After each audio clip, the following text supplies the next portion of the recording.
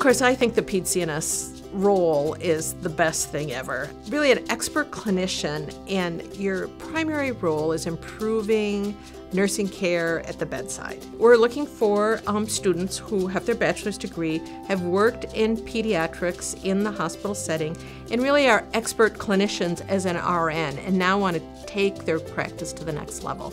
One of the things I love about the PEDCNS role is there's such variety of what you can do and really a lot of autonomy. You can really create the role as, you know, to develop your interests and passions. I think you can be a PEDCNS and have a lot of patient contact. They might do direct patient care, but also there's a lot of um, consultation and indirect care. If you like autonomy, but also the challenge of um, really dealing with complex clinical situations, it's a great role to be in. For me personally, seeing our graduates go out and be so successful in their clinical practice, and I keep in touch with them, and it's very gratifying to see the impact they have on children um, throughout our community um, in a positive way.